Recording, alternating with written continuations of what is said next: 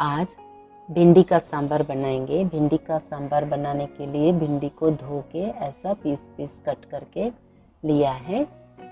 अभी इसको एक कढ़ाई में डालेंगे। इसमें एक स्पून जितना तेल डाल के भिंडी को भून लेते हैं।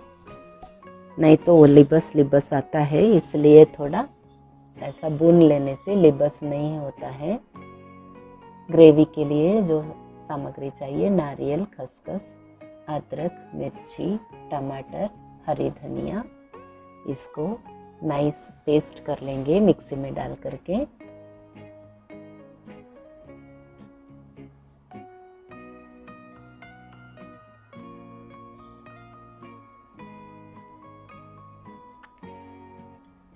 पहले नारियल और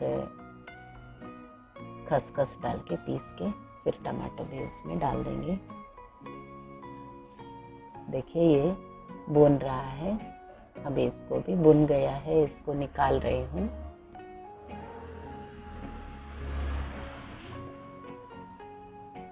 कुकर में थोड़ा तेल डाला है।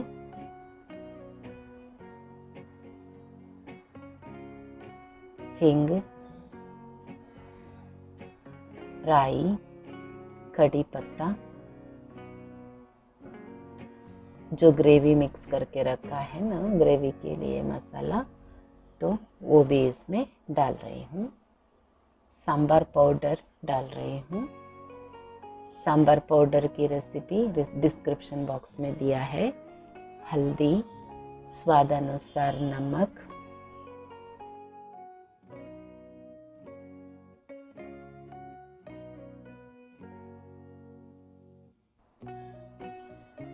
इसको मिक्स करेंगे।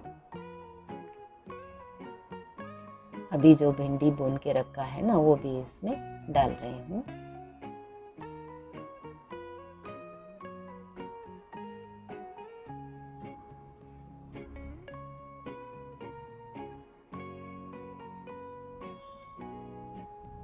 हमको जितना गट चाहिए, उतना पानी हम डाल सकते हैं। देखिए। अच्छी तरह से मिक्स करेंगे। कुकर ढक के एक विशिल लेने से भिंडी का सांभर रेडी हो जाएगा।